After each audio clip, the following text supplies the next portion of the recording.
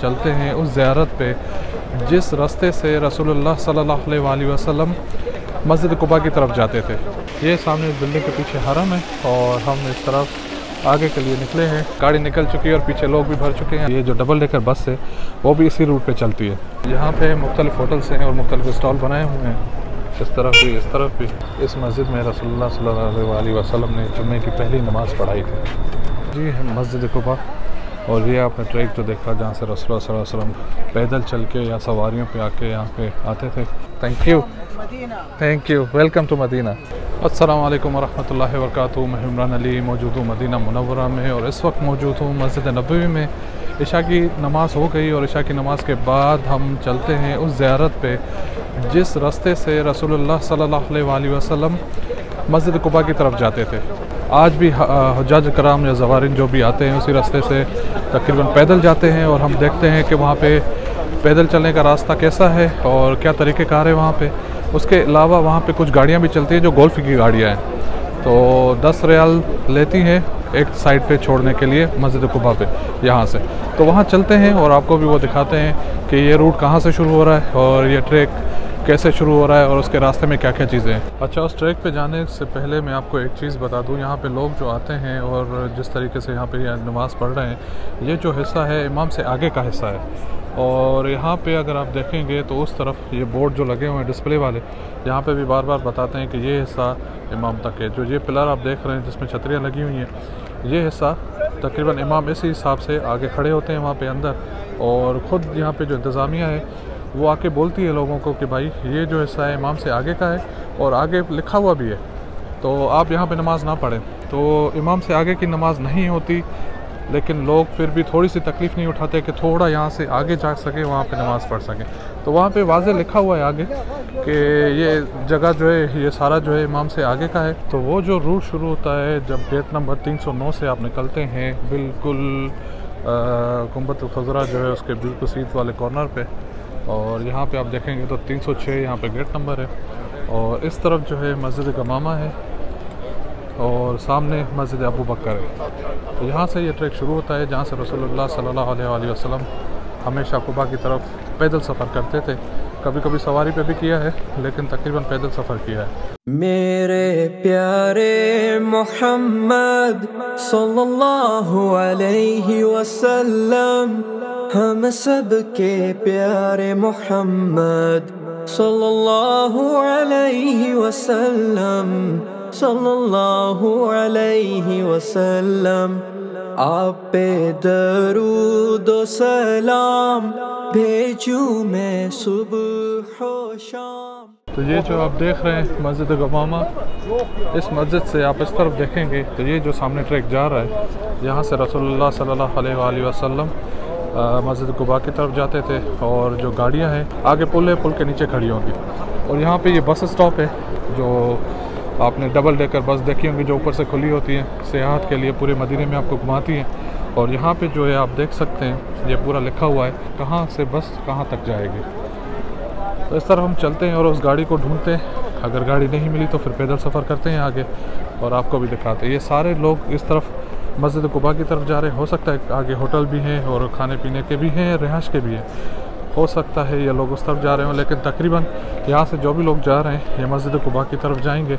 आप हैं प्यारे मोहम्मद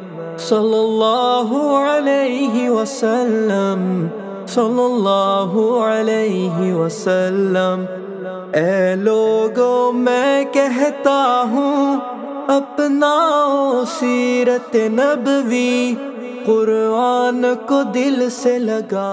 जी तो ये यहाँ पे ये गाड़ियाँ खड़ी हैं। आप पूछते हैं टिकट का। जी, ये वाली गाड़ी है और इसमें दो, चार और छः लोग बैठ सकते हैं और दो पीछे आठ लोग। और यहाँ, ये रूट है आगे जाने का सफ़र के लिए।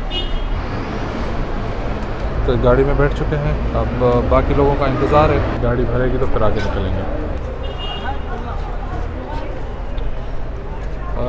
इस तरफ़ ट्रैक जाने का है और उस तरफ़ से जो ट्रैक था वो आने का है। तो जी, ये विज़िट हमारी शुरू हो चुकी है। अब गाड़ी निकल चुकी है और पीछे लोग भी भर चुके हैं, आप देख रहे हैं। अब निकलते हैं आगे और आपको भी दिखाते चलते हैं कि क्या क्या माहौल है आगे। तो यहाँ पे मुख्तलिफ़ होटल्स हैं और मुख्तलिफ़ स्टॉल बनाए हुए हैं।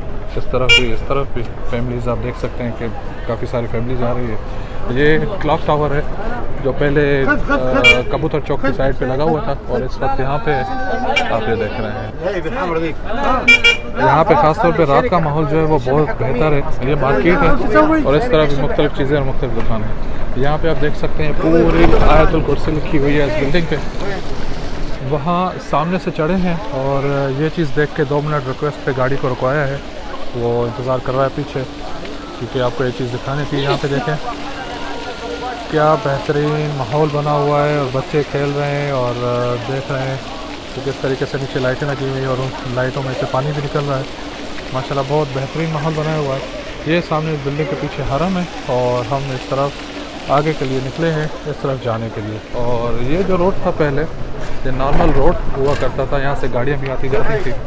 अब वो रोड हटा के लोगों के विज़िट के लिए या घूमने के लिए ये ट्रैक बनाया गया है ताकि लोग जो है आसानी से विज़िट कर सकें और आसानी से लोग आ जा सकें दोनों साइडों से। तो यहाँ पे मुख्तलिफ़ दुकानें हैं, मुख्तलिफ़ शॉपिंग के लिए आप जो चीज़ आपको चाहिए होगी, आप घूमते जाएँगे, आपको वो चीज़ मिलती जाएगी। और ये वो रूट है जो रसूलुल्लाह सल्लल्लाहु अलैहि वसल्लम इस्तेमाल करते थे। और ये मैं सामने शीशे में नज़र आ रहा हूँ आपको इन दुकानों की और घरों की ऊपर सेटिंग देखेंगे तो सबका कलर भी एक ही है और इस साइड पर भी एक वो सफ़ेद है। अच्छा यहाँ पे गाड़ी चलाते वक्त थोड़ा ध्यान रखना पड़ता है, या बच्चे साइकिल भी चला रहे हैं और बच्चे घूम भी रहे हैं सामने, आप देख रहे हैं। लेडीज़ भी है फैमिलीज़ भी हैं। तो मेरे ख्याल में अगर लोग एक साइड पे होकर चलेंगे तो बाकी गाड़ियों के लिए भी आसानी रहेगी। पर जब हम निकलते हैं तो होश हमारा नहीं होता। हर एक का जिसको जहाँ देखना होता है जैसे चलना होता है वैसे चलना होता है। इस ट्रैक पे आप घूम भी सकते हैं शॉपिंग भी कर सकते हैं कुछ होटल्स भी हैं आगे खाने पीने के। और यानी हर दुकान हर शॉप है कुछ यहाँ पे दुकानें नहीं खुली हैं आप देख सकते हैं ये आया की शॉप और माशाल्लाह बहुत अच्छी रौनक है और अच्छा हिसाब किताब रखा हुआ है। तो बहुत बेहतरीन तरीके से ट्रैक बनाया गया है। ये देखो। ये एक गाड़ी अभी गुजरी है और ट्रैक में से मुख्तलिफ़ ट्रैक बने हुए हैं। जैसे आप ये सीधा जा रहे हैं, वो अलग है और इस तरफ़ जो ये गलियाँ हैं, वो अलग ही बनाई गई हैं। मेरे प्यारे नबी ने अल्लाह का हुक्म माना। सजदों में मेरी उम्मत कहकर अल्लाह को मनाया। मेरे प्यारे मोहम्मद अलैहि वसल्लम। यहाँ पे जो सबसे मशहूर मॉल है वो ये रहा काकी मॉल, अल काकी मॉल। जो पूरा एक शॉपिंग सेंटर है अंदर। वैसे तो आपको हर दुकान पीछे मिल गई। यानी जो भी चीज़ आपने ख़रीदनी होगी अगर पीछे आपको हर दुकान मिल जाएगी। पर ये जो है, पुराना मॉल है और इसको अभी नए सिरे से भी बनाया गया है और इसमें भी हर चीज़ आपको यहाँ मिल जाएगी। यहाँ पे लाइट कुछ कम है आगे, पर यहाँ पे अगर भी आप देखेंगे तो आगे बच्चे भी खेल रहे हैं, कुछ गाड़ियाँ भी खड़ी हैं। ये कितना खूबसूरत ट्रैक और कितने तरीके से बनाया गया है इसको ये आपके सामने। वो वाला ट्रैक जो आप देख रहे हैं सामने वो वापस आने का है और ये वाला ट्रैक जो है ये जाने का है। सामने आपको मीनार नज़र आ रहे होंगे ये मस्जिद कुबा के हैं और ये कुबा पे जाके उतारेंगे हमें। गाड़ी पे जाने का मकसद ये था कि थोड़ा लंबा ट्रैक है कि आपको दिखा सकूँ सही से। लेकिन आप जब पैदल घूमते हैं, और लोग पैदल ही घूमते हैं यहाँ पे ज़्यादातर, जब आप पैदल घूमेंगे तो आपको वो फीलिंग भी नज़र आएगी कि इस ही रास्ते से रसोल्ला सल्ला वसलम जो है, वो कुबा की तरफ़ जाते थे और इसी रास्ते से वो घूमते थे। मस्जिद नबी से लेके मस्जिद कुबा तक यहाँ से जाते थे और वापस भी यहीं से आते थे। और इस तरफ़ एक और मॉल है जो, जिसमें आपको हर चीज़ अंदर मिल सकती है, ख़रीद सकते हैं। बाकी ये माहौल आप देख सकते हैं कि बच्चे यहाँ पे खेल रहे हैं और लेडीज़ और फैमिलीज़ घूम रही हैं यहाँ पे। काफ़ी ग्रास वगैरह भी लगाई हुई है। जैसा कि मैंने आपको बताया था कि यहाँ पे पहले रोड हुआ करता था या पेट्रोल पम्प देख सकते हैं। तो वही पेट्रोल पम्प अभी तक है, लेकिन तोड़ा नहीं है। ये सामने मस्जिद गुबा है और आगे जो हम चलते जाएँगे। मस्जिद कुबा से पहले मस्जिद जुमा आएगी, जहाँ पर रसूलुल्लाह सल्लल्लाहु अलैहि वसल्लम ने जुमे की नमाज़, पहली जुमे की नमाज़ पढ़ाई थी। वो इस तरफ़ है, जो आप ये मीनार सामने देख रहे हैं, ये वाली। और रसोल्ला सल्लल्लाहु का जो इस्तेमाल किया गया था लड़कियों ने जो जब जहाँ पर आए थे, वो इस एरिया में किया था, यहाँ पर अब यहाँ से शुरू होगा सूकुल बरका जो पहले पुरानी मार्केट हुआ करती थी, और ये खास तौर पर जो मार्केट है इसमें भी आपको हर चीज़ अंदर मिल सकती है। ये मस्जिद जुमा है और ये अपना मेन रोड है, जिससे अभी इंतज़ार में है कि कैसे आगे निकलेंगे। इस मस्जिद में रसोल्ला अलैहि वसल्लम ने जुम्मे की पहली नमाज़ पढ़ाई थी। अब कुबा के एरिया में निकल चुके हैं और कुबा के एरिया में जो सूकुल बरका जिसे कहते हैं, वो यहाँ से शुरू हो रही है। यहाँ से भी काफ़ी स्टॉल रखे हुए हैं और आगे काफ़ी लाइट वगैरह भी रखी हुई है। ये आप देख सकते हैं। और ये मॉल है टॉप सेंटर यहाँ पे भी आप देख सकते हैं काफ़ी फैमिलियाँ हैं और काफ़ी बच्चे हैं जो आगे खेल रहे हैं। अब यहाँ से थोड़ा आगे निकलेंगे तो वहाँ पे भी काफ़ी दुकानें, काफ़ी शॉप्स खाने पीने की। और ये जो इंस्टॉल बीच में आप देखते जाएँगे, ये भी इसी हिसाब से हैं जो खाने पीने की दुकानें हैं। स्टॉल हैं, कुछ मजलिसें बनाई हुई हैं लोगों के बैठने के लिए तो यहाँ पे बैठ भी सकते हैं। और कुछ यहाँ पे बीच में बैनर रखे हुए हैं और जो थोड़ी थोड़ी तफासिल तो उसमें लिखी हुई है या बताते जा रहे हैं कि क्या चीज़ें हैं, क्या चीज़ें नहीं हैं। ये दूसरा साइड माशाल्लाह, इस वक्त अगर आप रात के टाइम पे मदीना मुनवरा में कहीं भी निकलेंगे तो आपको इसी तरीके से रौनक मिलेगी, जो आप ये रौनक देख रहे हैं, ये लोगों को भी देख रहे हैं आप। बैठे हुए हैं। ये देखें ये भी बाहर बैठने का माहौल है और यहाँ पे कुछ होटल हैं। और ये दूसरी गाड़ी है जो यहाँ से निकल रही है। अब यहाँ पे हमें उतारेंगे। खलास। शुक्र अल्लाह अभी। Thank you thank you welcome to Medina तो यहाँ पे आके उन्होंने उतारा है और जब हमें वापस जाना होगा तो आगे गाड़ी यहाँ पे खड़ी है। यहाँ से लेनी पड़ेंगी। तो ये जो गाड़ी है, इसकी राइड के पैसे अलग है, वो यहाँ पे आपको घुमाएँगे। थोड़ी थोड़ी मुफासले पे बैनर लगे हुए हैं और उन पर कुछ मालूम या कुछ चीज़ें या रसोल वसम की हदीसें लिखी हुई हैं। इसी हिसाब से पीछे वहाँ पे एक हदीस लिखी हुई थी जहाँ से सूख बरका शुरू हो रहा था। दूसरी चीज़ ये रही जो आप यहाँ पे देख रहे हैं ये बच्चे खेलते हुए, ये जो बाइक्स थी बच्चों को, ये किराए पे यहाँ पे मिलती हैं, काफ़ी सारी शॉप होंगी आगे पीछे। और दूसरी चीज़ ये है कि ये जो डबल डेकर बस है, वो भी इसी रूट पे चलती है। और ये मेरे ख्याल में भी ये भी इंतज़ार में है कि लोग आके बैठें तो फिर आगे निकले।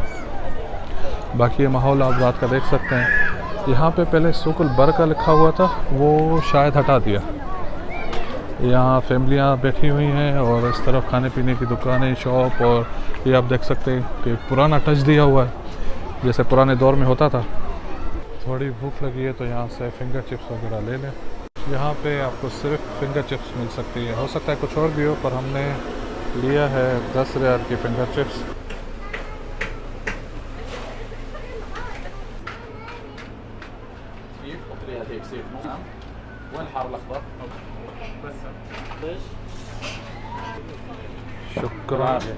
अल्लाह